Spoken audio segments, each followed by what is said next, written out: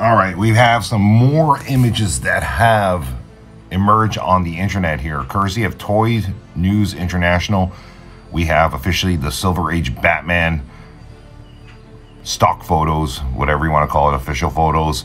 And this is an immediate must have. And this is going to be one of the hottest selling action figures from McFarlane Toys. And I hope that the Flash Unmasked will be available as well too because I definitely going to get the Silver Age Batman along with the Unmasked Flash. Hopefully it becomes readily available worldwide as well. And hopefully this is not an exclusive. I do not believe it is, which is great news for us Silver Age Batman fans with the blue suit. We love it. This is paying homage to him. Next, we have the Two-Face Batman. Man, this looks pretty cool too.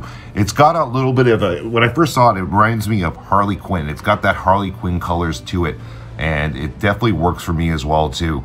Um, I'm not going to be one to totally jump out and get it immediately, but if I see it for a good price or if it goes on clearance, I, I might pick this one up because it's a very unique looking figure, and I'm a huge Two-Face fan, so I would certainly be picking this up to add to the repertoire of DC Comics Batman collectibles that I have going so far. So might consider this one, not sure. It definitely has a cool color scheme. As mentioned, it has that Harley Quinn color scheme, Patel colors of red and black and split in half. Again, I might just grab it because Two-Face, and I'm a huge Two-Face collector. So let's see what happens.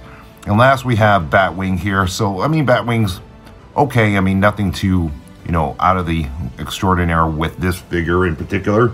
But, you know what? I mean, hmm, I'm trying to think. It's okay. It's nothing spectacular. But again, if you're a huge McFarlane Toys collector, DC Multiverse collector, this is one that you may want to consider picking up. Anyway, I'll let the music finish it off, guys.